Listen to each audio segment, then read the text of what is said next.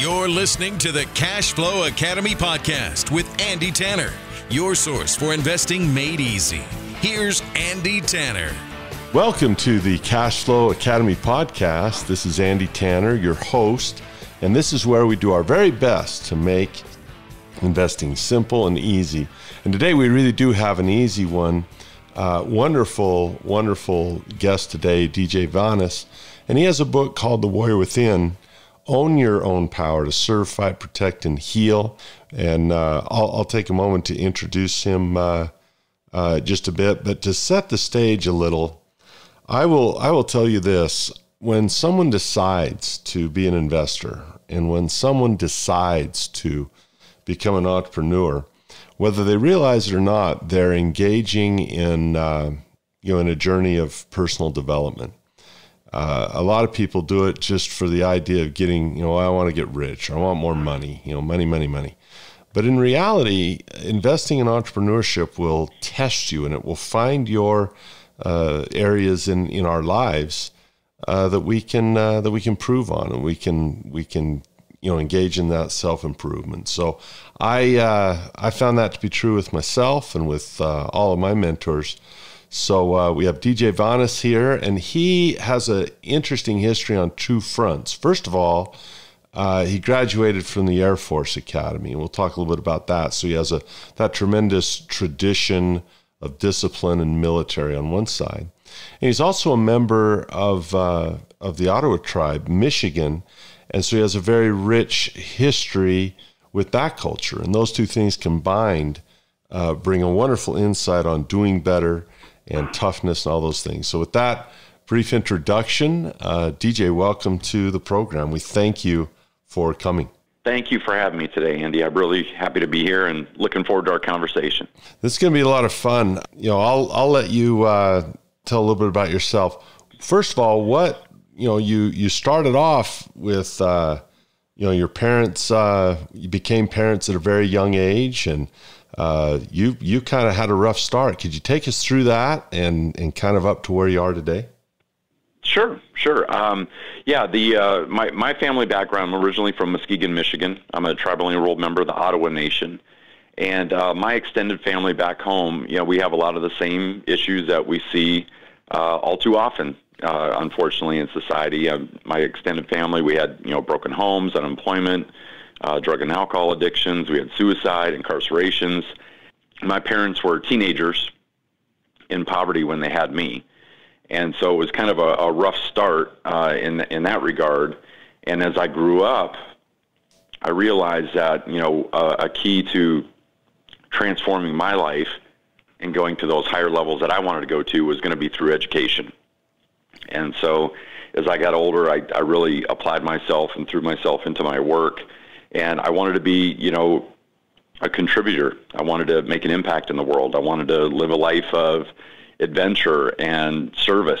And, you know, I thought that would be a really fulfilling road to take. And I grew up in a military environment. My dad joined the military, so he was in uh, the Air Force for 21 years. And so I was a brat. And so that had a big impact in my career progression as well and, you know, kind of highlighted what I wanted to do um, in in regards to you know military service and just being a servant in general uh, was a, that was a big influencer. So this is fun stuff. I was the the only I've been to the Air Force Academy and I went there to play basketball and I, I was the worst player in the history of my school. but I was tall and, and I could play and we played the Air Force Academy on the road. Mm-hmm. And it was inter- it was it was it's a game that sticks out in my mind like none other game I played because we had much better players, much taller players, much stronger players, highly recruited players. And we mm-hmm. did we were fortunate to win the game, but I'll tell you what, you could beat that team, but you couldn't break that team. And I don't know if people know what I mean by that is they were freaking tough as nails and mentally, while physically, you know, we're just bigger. But mentally, I mean, there were every other team that that we played, we feel we could, you know, break them mentally pretty quick and then it was easy. Yeah. That was not an easy win, man. Those guys are unbreakable. Completely we're, we're, scrappy. We're scrappy, just, that's for sure. Just, yeah, even our football team too. That was another yeah, we I get yeah. that feedback quite a bit as we play teams that are a lot bigger, a lot stronger, a lot Yep. faster. But um, we have heart, you know, and, and that's one of the things that I pride myself on, you know, from being a graduate from the Air Force Academy, is the things that they put us through there really bring out your best version, you know, and through discipline, through training, through a lot of responsibility, um, high tempo, you know, over the four years. And uh, there's never, you know, there's never downtime, you know, and you're constantly pushing and grinding. But I tell you, it really does set you up for success as a business owner, an entrepreneur, you know, whatever field you get into in life, it really does uh, add a whole lot of horsepower to whatever your path is. So you're you're so that's part of, of the tradition in uh, and your website is nativediscovery.com. You've uh, authored several books. The most recent is The Warrior Within, Own Your Own Power to Serve, Fight, Protect, and Heal. I love the term warrior. You know, warriors when what comes to mind when I think of warrior are things like first responders or people who fight, um, people who are, you know, who are ready to, to go to battle. What defines Yeah. a warrior? If you know the warrior within, what defines that? Yeah, um, it's a loaded question or a, a loaded word. You know, there's a lot of baggage with it, and a lot of times we look at it through the stereotypical Hollywood kind of imagery. You know, that that sweaty, chiseled figure that's you know knocking down buildings and bad guys and doing it all in the name of glory. But when we talk about warriors for, in our traditional, you know, in our tribal communities, the word has a very different connotation. You know, it's somebody who's dedicated their lives to developing their creator-given talent and ability over a lifetime so that they could be an asset or a benefit to the tribe that they served. So it was all about contribution. It was about leadership by example. Yes, there was times where fighting was part of that and sacrifice and defending and protecting, but it was also a role that was deeply rooted in service. Uh, that was the heart of that warrior role. Uh, we call a, a warrior in my tribe Ogichida, and that term has very little to do with what we see in TV and movies. Um, it's somebody who asks the question not what can I get, but what can I do for someone else. So that's ultimately what it comes back to. It's somebody who is a servant, somebody who is a contributor, and somebody who never takes their foot off the pedal when it comes to self-development and, and improvement because they realize it's not about them. It's ultimately about who they serve. And so we constantly are, are in that mode of, of growth, transformation, so we can be better at what we do. So I I really like the title, The Warrior Within. And I think people might get caught up on the word warrior, but I really like the word within as well, and I'll tell you why. My kids, you know, your kids, the the youth are growing up in a really interesting time. Um, nothing, you know, I'm only I'm only in my 50s, so I still feel like I'm pretty young. But in my half century life, I've seen some changes, and uh, I I am all for you know grabbing a sign and joining a throng of people and marching for whatever cause uh, is good to bring more fairness to the world. I'm for that. I really am. At the same time, I don't have time often. Often societal changes to bring better fairness and better equality. Those come at a glacial like really slow geologic pace. It takes forever. I look at, uh, you know, for, for example, in uh, civil rights, in the civil rights arena, you've got guys like, you know, Owens and the late Bill Russell and Ali and all those guys. You know, they fought for a long time and it just takes forever for that for that to come. In the meantime, what I really like is what I teach my kids. I, I says, look, you're going to have adversity from something. I mean, you're certainly more privileged than maybe others, but there's others more privileged than you. We can all find a, a place where uh, something is unfair. And when you look within, I mean, when I look at the title of your book, Finding Power Within and Power to Serve Others and Fight Within Yourself, that can happen very, very quickly. And uh, a person individually doesn't have to wait. That we can fight for a, for for more social balance, but in the meantime, if a person doesn't want to wait that long, uh, there's power that's just like atomic, like nuclear inside that can just blow through obstacles. Any thoughts Yeah. on that? Yeah, I mean, a great observation. I, I really love the insight, and I, and I agree with it 100%. I mean, we can transform in a moment. We can make different decisions. we can create impact, we can choose a path, choose a course, and see results pretty quickly when we do that. The other thing that happens is when we go through adversity, which I think everybody can relate to over the last couple of years, we go through transformation at not only a very deep level, but also very quickly. And, and that's one of the things that, you know, going through tough times, I know we complain about it. I know we wouldn't wish the situations we sometimes find ourselves in, we wouldn't wish that on an enemy. But that's when our best stuff comes out. That's when we're, you know, you take a, a, a something as simple as a rock and a stick, you know, you shape that and carve it the right way. Our warriors could make a weapon out of that that, you know, you could get dinner with or defend your village with and it was just basically you know shaping and chiseling that into something that you wanted to see. We can do that with ourselves you know with our own character our own habits our own practices our own development our own knowledge base. You know we constantly need to be chipping and shaping ourselves into what we want to become. And, and that warrior role by the way you know that transcends race gender age stage of life. It, it's there for anybody willing to walk the path that is you know, committed to making a contribution to somebody else. But that definitely means that we're trying to become every day a better and better version of ourselves to impact those people in a, in a you know, deep and compelling way. it, it, it is an interesting uh, thing to think about in terms of of our opportunities. You know, if we look maybe at financial um, situations, it, it is mm-hmm. so interesting. I I've got one of my sons at homeschooling this year, and you know we talked about compounding, and we took a thousand dollars and learned how to turn it into a million dollars in his life, a thousand bucks.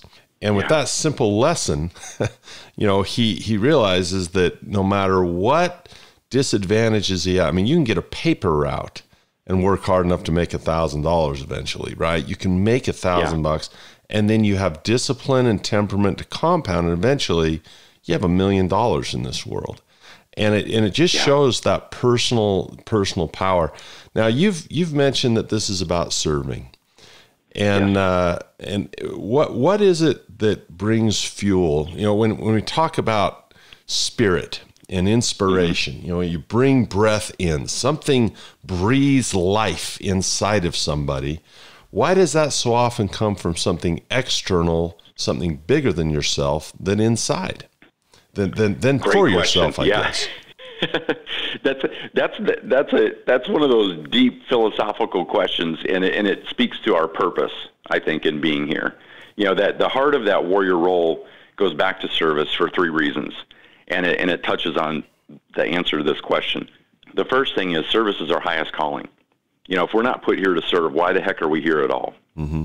So that's the first thing. The second thing is, you know, service is our deepest need. Uh, we all have a need. Um, you have it, I have it, my kids have it, your kids have it, people we work with have it, and it's a need to feel valued at some level, to, that we matter. And we can get some of that need fulfilled when we serve somebody else well. So, it, I mean, it's the ultimate game of connect the dots. You know, it makes us feel like a million bucks inside uh, when we serve somebody well. And the third reason why service is the heart of that warrior role is because it's our legacy. It's what we leave behind us when we're gone. And all the tribal communities I've worked with for the last 25 plus years, I've worked with over 500 tribal nations. And when those communities lose an elder, they have a celebration and a memorial, and they reflect on that elder's life. And they don't talk about, you know, that where the elder vacationed or the car they drove or the clothes they wore. They talk about the moments that that person contributed to somebody else's life. You know, a moment where they shared some guidance, some wisdom, some insight, some encouragement, some humor.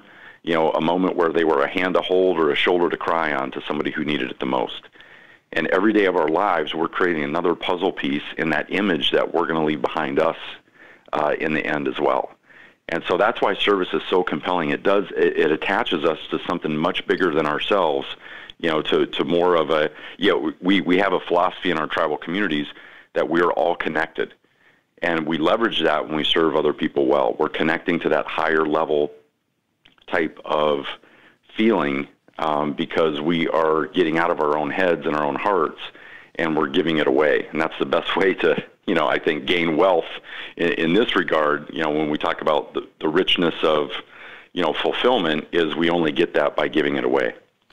So, you know, we've talked a little bit about owning our power to serve. And I'll tell you, you could go in any direction and find uh, opportunities there. You could go in any north, south, east, or west, right, left, up, or down, and you would find a cause, a person, something bigger yourself. There's opportunities everywhere. So own your yeah. power to serve. Let's talk about fight. What do you fight for? Uh, what does a warrior fight for? Why is it important to fight? I, I tell my sons, I says, you know, you'll have external battles, but you'll have mm-hmm. internal battles. And, you know, there's a duality to us. You know, I, I fight with my stomach.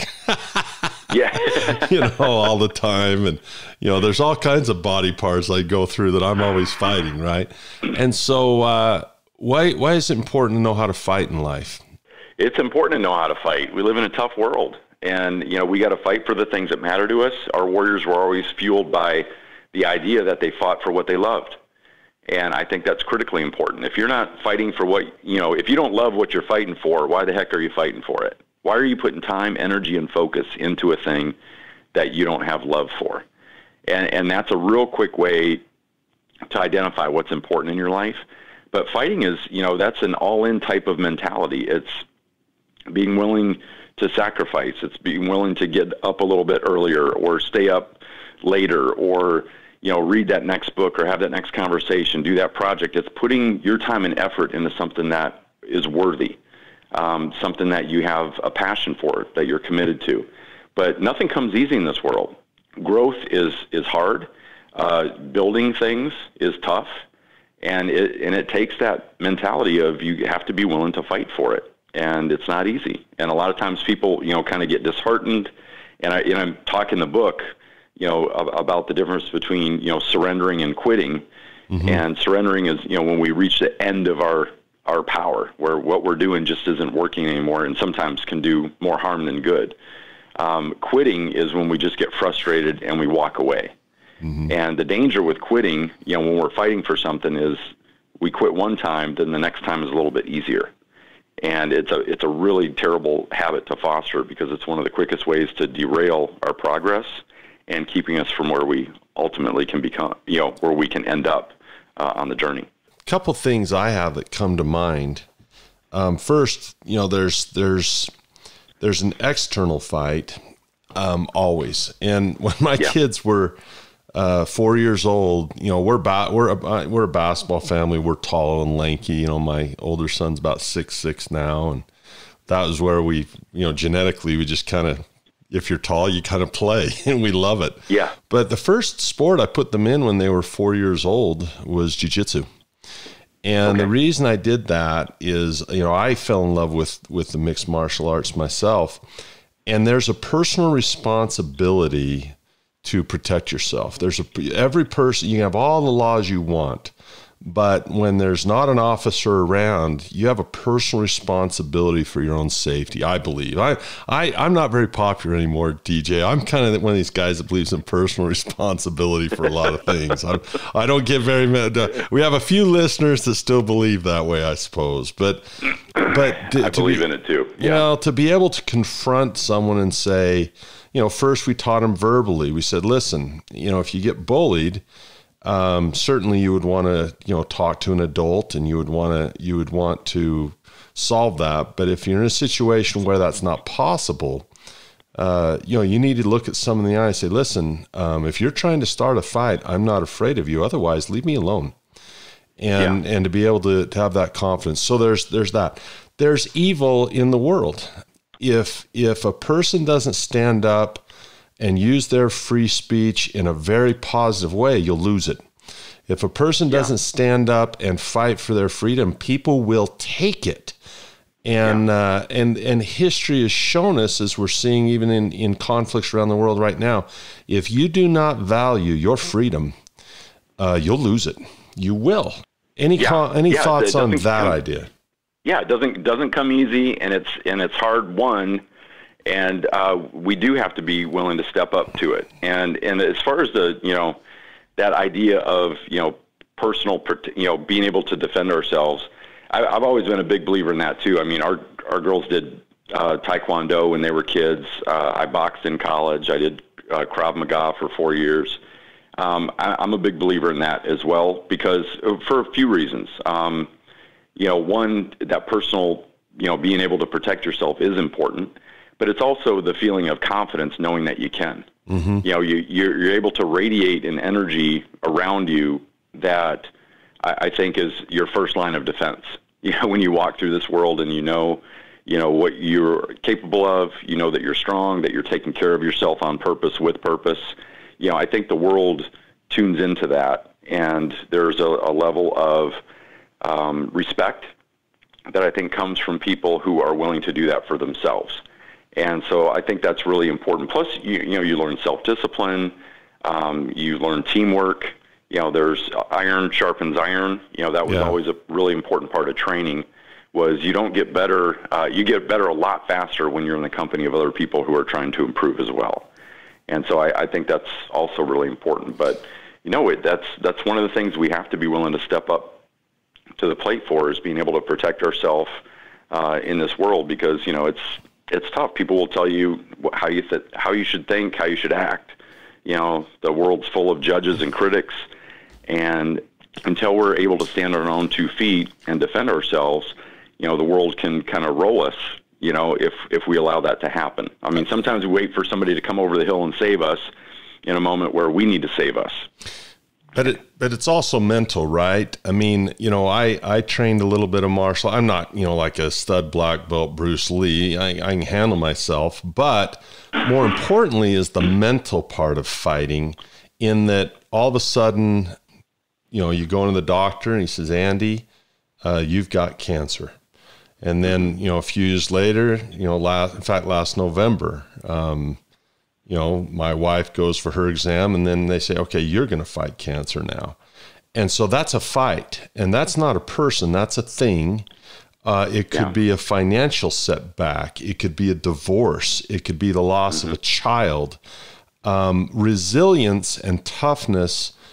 Um, I don't know if it makes life easier, but it kind of makes life easier. The tougher we are, the more resilient we are, the more we have that self belief, like, I will not be defeated. Keep punching, baby.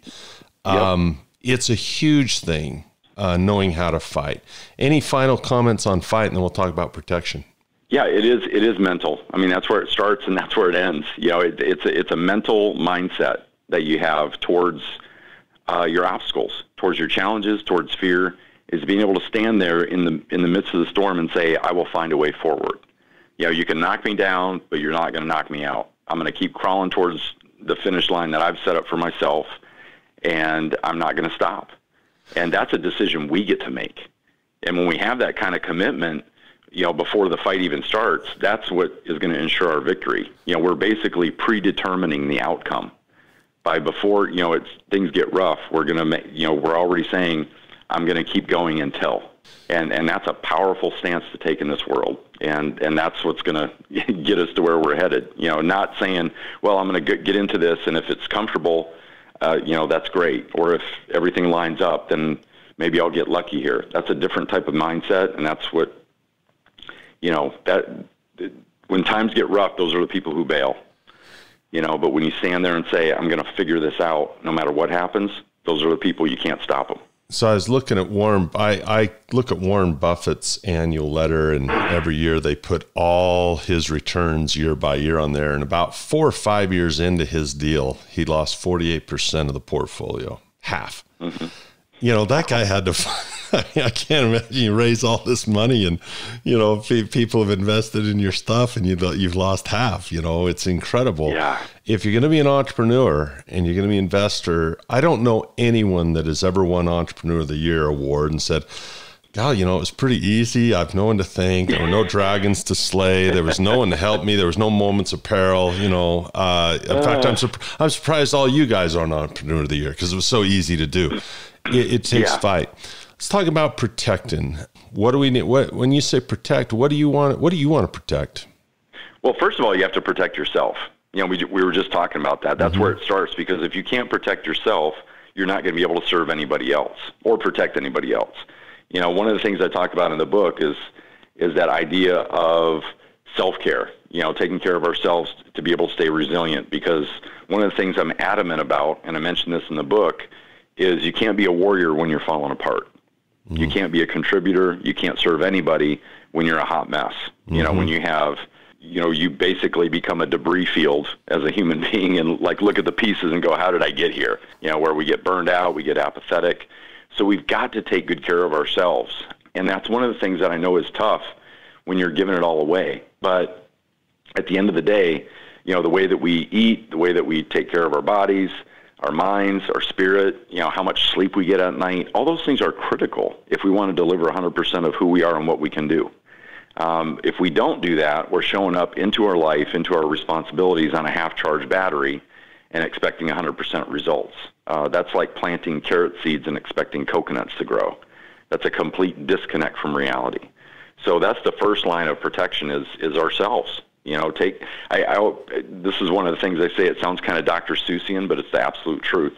You are the only you that you will ever have or be in this world. Act accordingly. Mm. You know, if we're not protecting the vessel of all this great service, it won't be delivered. So we've got to take care of ourselves first and foremost. One, of, I, I love the idea of protect. I, I had a, uh, he's not a close friend, more of an acquaintance, but there was a, a great NBA player. He was an all star. Maybe people don't remember him. His name is Mark Eaton. He was seven foot four, and uh, he was kind enough to to, to you know sign a, a book for my kids. And he said there were four principles of winning team, and one of the things he said is protect others. And it was kind of fun yeah. as at his size that he saw himself as a protector of his teammates. And uh, yeah. you know when you look at your business you protect those that work for you or work with you. You protect your family. You protect your friends. You you know i love the mm-hmm. word tribe. You know when you say this is my tribe there's a feeling of belonging to your tribe. I love that stuff. And you Let, protect your tribe. And yeah. that was what a warrior's purpose was. You know it wasn't to protect themselves. It was to fight for something bigger than self. But it starts with them taking care of themselves first. You know to, the way that they ate the way that they slept took care of themselves spiritually yeah. so that they could be in a position to protect their people. That's what it came down to. So, yeah, critical. Fantastic stuff. Finally, the last one is heal. And that's a mm-hmm. beautiful, beautiful word. You know, you can heal physically, some injuries can't be healed. But, uh, you know, the word warrior, I have a, a, a dear, dear friends, uh, Josh and Lisa Lynn, and they have a, a place in Texas in Bandera called it's a 500 acre ranch called Warrior's Heart. And what happens is is when warriors have the PTSD, the first responders, the military, the the officers, the paramedics, uh, they can go there to heal. Their tagline is strength through healing. And yeah. uh, that's a beautiful, beautiful thing. If someone's down and out, how do you heal? I mean, if you know your own power to heal, do we have power to heal ourselves? Yes, yes, we do. Um, we don't have to do it alone. Uh, we do it with you know the company of other warriors, which always uh, adds a lot to our healing process. But yes, we can heal ourselves, and, and part of that has to do with the way that we look at what we're going through or what we've been through. Mm-hmm. You know, one of the things I talk about in the book is you know developing mental toughness, and you know, and part of this healing process is when we're going through those hard times is is asking ourselves, you know, some questions like, what am I telling myself about what I'm going through or what I've been through? That story is part of our creation. I mean that we, we get to define, you know, the situation that we've just been through. But we talk about PTSD, which we all are familiar with, but there's also post traumatic growth. Mm. And a hmm. big part of whether, you know, what we go through breaks us or builds us has to do with that question. What story am I telling myself about what I've been through, you know, about this situation I'm in or have been through? We get to define that. So that that's a big part of it. I also talk about medicine in the book. Um, from a traditional standpoint, not medicine like we see in general society where we think of a pill or a vaccine, but medicine in our tribal communities was anything and everything that kept us healthy and strong, mm. mind, body, and spirit. So this could be time with our friends, time alone, enough sleep, playing, you know, uh, playing sports, pursuing a hobby, spending time outdoors, watching funny movies. Anything and everything can qualify as medicine. Um, but that's also something that we didn't seek out when we were already sick and out of balance. It was something we incorporated into our lives daily to keep ourselves healthy and strong. Um, but healing is, you know, when we get our, you know, our, our uh, bell rung in life, you know, emotionally, uh, we have to have strategies in place. And I unpack that in the book on what we can do when, you know, I have a chapter called When the Wolf Comes. Mm. You know, when times get really bad, when they get really hard, you know, what do we do? And that's an important thing to know before you get into those tough moments because they are going to come. But when you're prepared, you know, a prepared mind finds a way, you know, to navigate even the craziest storms. And that's that's a big part of, you know, the preparation, you know, for battle is getting ourselves ready, you know, mentally, surrounding ourselves with the right people, having the right habits and practices in place, and then knowing when things happen, it's not about life being unfair. I mean, it's this is the universe. We all, you know, the universal connector is pain. Um, but when it happens, knowing that we can find a way through gives us a lot of confidence to make that a reality. There's there's a spectrum as a parent and as a coach. I look at on one end, uh, there's abuse, which is completely um, out of line. It's intolerable. It's unconscionable. But on the other end of that spectrum might be uh, coddling. One mm-hmm. one causes broken bones, and the other causes brittle bones. And and I think that that you know if we if we think about a lot we want to find somewhere in the middle i i i don't know the specifics but from what little i know it seems in the you know in those tri in those tribes there's almost always a coming of age ceremony where uh, a young man or woman is going to go through some type of physical and mental test that's very very difficult it's a coming of age thing and yeah. you know, in our day, someone might look at that and says, "Well, that's antiquated. Uh, that's you know barbaric. That's uh, base. That's not you know that's below. That's uncivilized." They might say, but in a way, those ceremonies are a gift. In my opinion, um, could you give a final they question are. on that? Could you give an insight on that type of, uh, you know, I mean, I, I, I go into the, I volunteer at the high school now, and you got to be careful. I mean, you you know, anything can bullying now is anything. So you just have to really be careful you don't trigger any kids. Can you talk about that, or are we allowed to talk about that, or are we going to get in trouble? yeah. Well, here's the yeah. See, here the the thing is with our ceremonies, they are hard.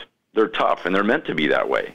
Because when we go through the ceremonies and we go without food or water or shelter. And you know, I've been through traditional ceremonies like Vision Quest or or Sundance or going through you know sweat lodges, um, which are less intense but can be you know pretty pretty tough. But some of the traditional ceremonies are really really hard. They're grueling. And people always wonder, well, why why do you go through something like that? Well, because what you're exchanging is your comfort and your familiarity. You're exchanging that for insight, growth, wisdom, and transformation. And that doesn't come easy. You know, when we go through tough times, that's when our best stuff comes out. Mm-hmm. And so that balancing between, you know, being abusive and coddling, you know, finding that middle ground is, is key uh, for our continued growth and development. You know, one of the things I talk about in the book was uh, a katana blade, you know, carried by the samurai in, in Japan. It was the finest sword ever crafted by human hands because it was made from two types of metal. One had hardness, which resisted impact, and and doesn't flex under strain. But if you build the whole sword that way, it breaks. It's brittle. So the second type of metal has what metallurgists call toughness. Uh, so it's a softer metal that can absorb impact. Mm-hmm. It can mm-hmm. flex under strain, and that's what makes the katana, you know, such a such an incredible weapon. Um, we can develop that in ourselves too when we're able to, you know, kind of deal with the emotional setbacks we're able to look at what we're going through as not life is unfair, but this is a learning moment, and and that's like I said, that's when our best stuff comes out. We don't we don't learn a lot when the sky is blue and our belly's full, but we learn mm-hmm. an awful lot and we learn it fast when things go sideways or get pear shaped. and so, and that's one of the blessings, I guess, of going through tough times in life is if we can keep our head in the right space and say, this is a learning moment. I'm going to be transformed by this. I can make it through this. I can do hard things. And I'm not only going to get a lesson for myself, my own benefit, but I'm going to be able to share this with others, you know, people that I love, people that I serve as well. And when we have that kind of mentality, you know, we can get through anything.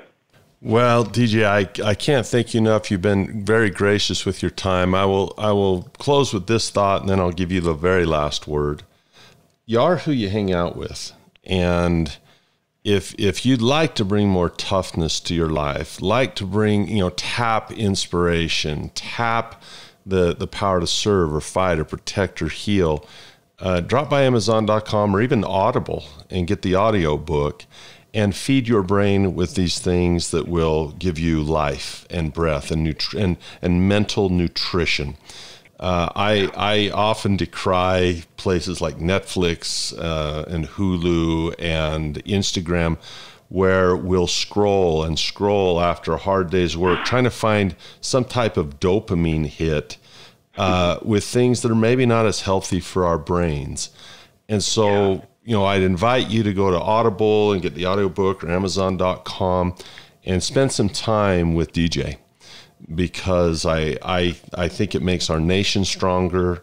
Uh, I think it makes uh, our families and our tribes stronger if we can develop and tap uh, this warrior within and find our own power to serve, fight, protect, and heal. If someone is uh, is going to go into entrepreneurship or investing, I can give you investing education. I can give you classes. I can show you, you know, sequences. But I cannot eliminate risk and I cannot eliminate the, the need for discipline and temperament and resilience. Um, that comes from guys like uh, like DJ. So, any any final words for someone who might feel that man, they've really had a rough time, rough year. They've, they've kind of had, like you said, their bell rung a little bit. Yeah. Um, yeah. How do you how do you get up off the canvas? You, I'll give you the last word to to kind of speak to those folks who've been beat up a little bit. Yeah. No, I, I, we can all relate to that, and that's exactly why I wrote this book, The Warrior Within, is to help people navigate forward. You know, be able to continue to develop themselves to get through those tough times. You know, it was written for those frontline people who have dedicated their lives to serving other people. And you know whether it's in healthcare, education, benevolent businesses, military, you know government, what, what those people who have dedicated themselves to making a contribution to someone else, and who have struggled mightily in the last couple years to do that and stay sane and balanced and healthy in the process.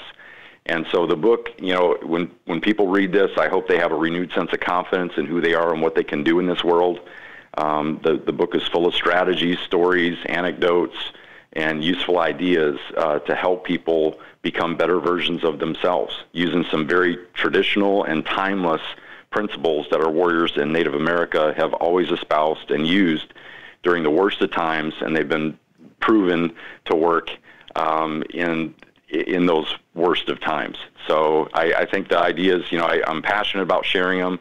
Um, I think there's, you know, uh, relevant as they ever have been, and I would argue they're more needed today than they ever have been. So, uh, hope you get a copy of The Warrior Within, um, and hope you enjoy it. And leave me a, a review when you do. I, I would be grateful. You've been listening to the Cash Flow Academy podcast, where we do our very best to make investing simple. Uh, we hope you enjoyed the conversation, and we'll see you next time. You've been listening to the Cash Flow Academy podcast with Andy Tanner. For more information on investing made easy, go to thecashflowacademy.com.